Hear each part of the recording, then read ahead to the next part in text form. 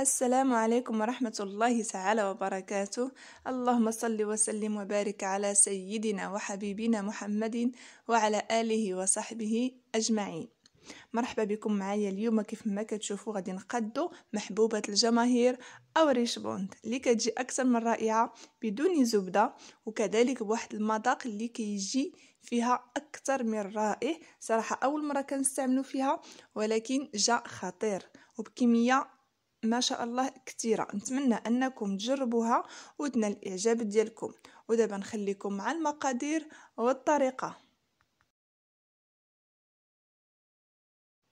اذا على بركة الله كيف ما كتشوفوا معايا اليوم نقادو ريشموند بالمذاق ديال البرتقال اللي جات خطيرة. نتمنى أنكم تجربوها بهذا المذاق. يمكن لكم بطبيعه الحال تبدلوا أي نوع.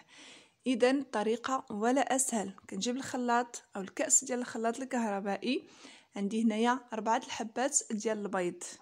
يكونوا بالحجم كبير. إلا كانوا صغارين نديرو خمسة. كذلك عندي هنايا كاس ونص ديال السكر حبيبات. عبارة بكأس العنبة. يمكن لكم ديروا حتى جوج كيسان اللي كيبغي الحلاوة ولكن باقي غندير ليها الكوفيتير. يعني كاس ونص كافية. وغادي نضيف جوج كيسان العنبة ديال زيت المائدة.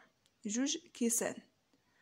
صافي هذا الخليط غادي نطحنو مزيان مزيان مزيان بمولينيكس. تنحس انه سنيدة اولا السكر حبيبات دابوا ليا إذا من بعد هذا هو الخليط كما كتشوفوا اللي تحصلت عليه. بهذه الطريقة كتجي سهلة ما كتخلطوش البيض مع السكر كياخذ لكم الوقت. فقط بالخلاط الكهربائي اولا الخلاط اليدوي. المهم آه، هنايا ضفت عفوا قبيصة ديال الملح وكمية من قشور ديال البرتقال. يمكن لكم تضيفوا حتى النكهة ديال البرتقال اللي كتجي على شكل جيل. آه، فقط تقدر تبدل لكم شوية اللون ديال العجين. أنا اكتفيت بالقشور ديال البرتقال لأني باقي غادي نستعمل نكهة البرتقال في آه، أماكن أخرى أولا في خليط آخر. إذا استعملت هنايا جوج خمارات الحلوى من فئة 8 غرام. عندي هنا 16 غرام في المجموع. وكذلك الدقيق على حسابية الخليط. كيف ما كنعرفوا كاملين الخليط ديال تريش بوند اولا هاد الحلوة هادي ما تيكونش ثقيل كيكون خفيف شوية. بحكم أن ما فيهاش الزبدة ما نقصحوهاش وكتجي رائعة كتذوب في الفم. إذا غادي نستمر على هكا غادي نبقى نضيف الدقيق وأنا كنغربلو بطبيعة الحال حتى كنتحصلوا على القوام اللي حنايا محتاجينه يمكن لك يمكن لكم عفوا تنكهوا هاد الحلوى باش ما بغيتو كيف ما سبق لي ذكرت. بالنسبة ليا بحكم أنه درت المذاق البرتقال غادي ندير كمية من vermicelle اولا آه الشعريه ديال الشكلاط الأسود باش يجيني داك المذاق ديال الشكلاط والبرتقال اللي كيجيو أكثر من رائعين كيتواتاو مع بعضياتهم. صراحة درت هاد الكمية ولكن كان عليا ندير أكثر آه ما بانش آه المذاق ديال الشكلاط بزاف. المهم كنخلط وباقي بطبيعه الحال غادي نضيف الدقيق. يمكن لكم ديروها حتى بنكهة الحامض.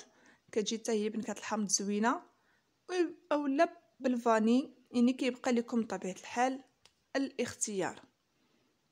إذا هذه هي العجينة. كيف ما كتشوفوا القوام ديالها كتكون رطبه رطبه على الصابلي. رطبه على العجينة ديال الصابلي. هذا هو القوام. وبالنسبة للحجم كيبقى لكم الاختيار إلا كنتو غادي تلصقوا جوجات اولا غتخليوها وحدة. بالنسبة لي أنا ما غاديش نلصق غنخلي غير هكايا. غادي نكور على هذا الشكل. إلا كنتو غادي تلصقوا بطبيعة الحال جوج كديروا آه يعني الحجم يكون أصغر من هكا لأنها كتنتفخ في, في الفران. كتزيد تنتفخ على هكايا. صافي كنستمر. القوام كيف ما كتشوفوا آه خفيفة شوية ضروري خاصكم ديروا ليها القوام يكون خفيف. إلا كنتو غادي تلصقوا مع بعضياتهم ديروا حتى قد هذا الحجم. يعني راه كتنتفخ ومنها تلصقوا جوج يلا كيجي الحجم هو هذاك إذا غادي نكورها وغادي ندخلها للفران اللي غادي يكون سخون مسبقا على عافيتكم متوسطة تاخذ وقتها في الطياب. وهذا هو الشكل ديالها كيف ما كتشوفوا راه فقط الإضاءة اللي أنا صايبتها طيبتها بالليل. حاولوا أنكم طيبوها حتى تاخذ الشكل الذهبي ما تطيبوهاش أكثر من القياس. وصافي هذا هو آه الشكل أو هذه هي الكميه اللي تحصلت عليها. كما كتشوفوا الكميه لا بأس بها تبارك الله. يمكن لكم ديروها طويلة كيف ما كتشوفوا ولا يمكن لكم ديروها دائرية من طبيعه الحال؟ العجينه راكم كتحكموا فيها الشكل اللي بغيتو. هذا هي الكميه اللي تحصلت عليها. صافي كنحطها جانبا. أنا راه بردات ليا من طبيعه الحال ضروري تخليوها حتى تبرد. وعندي هنايا المربى اولا الكوفيتير الجاري. بالنسبة لي أنا أنا خديته على أساس جاري لقيت فيه طروفة وطحنتهم. هذه الكميه المهم خديت كتاخذوا الكميه عينكم ميزانكم. خديت واحد البرتقالة آه، لأنني حكيت أنا جوج برتقالات خديت وحدة وعصرت العصير ديالها. هو اللي استعملته هنايا ضفتو في الكوفيتير. وكذلك غادي نضيف شوية من النكهة ديال البرتقال اللي كتجي على شكل جيل. كتعطي المذاق ديال البرتقال باين. كيجي المذاق خطير ورائع. نتمنى أنكم تجربوها بهاد بهاد الطريقة.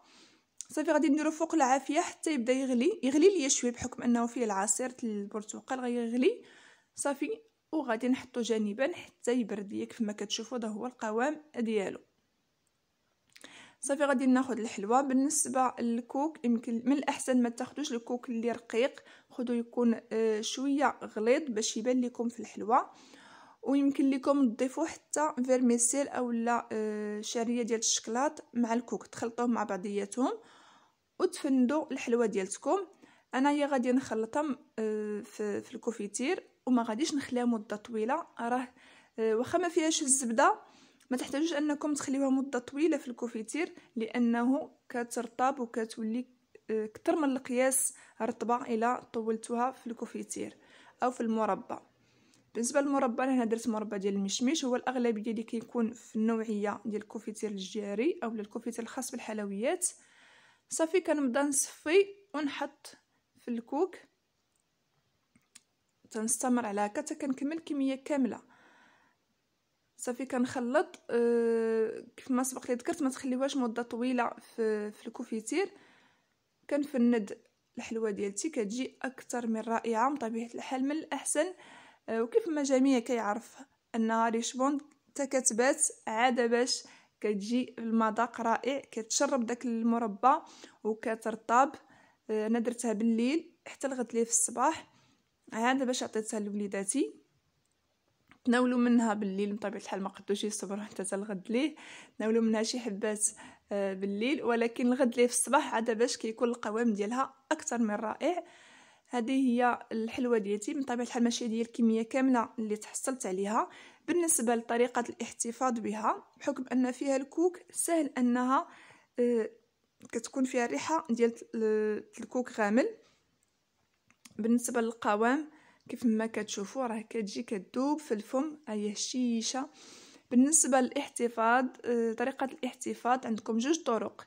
يا إما غادي تاخذوا واحد الكمية اللي غادي تستهلكوا في واحد الفترة وديروها كتفينيوها بالمربى والكوك وكتخليو ما تبقى يعني هكاك ناشف حتى كتحتاجوه وكتعاودوا تفينيوه. آه، يعني راه كترطب ما كيوقع ليها والو أولا كتفينيو الكمية كاملة اللي عندكم وكتاخذوا الكمية اللي غتستهلكوا خارج الثلاجه وما تبقى كديروه في المجمد. راه كتبقى كيف ما هي ملي كتخرجوها كديكونجيلا كتلقاوها بحال لا يلاه طيبتوها. نتمنى أنكم تجربوها بهذه الطريقة من الإعجاب ديالكم ودمتم في رعاية الله الذي لا تضيع ودائعه.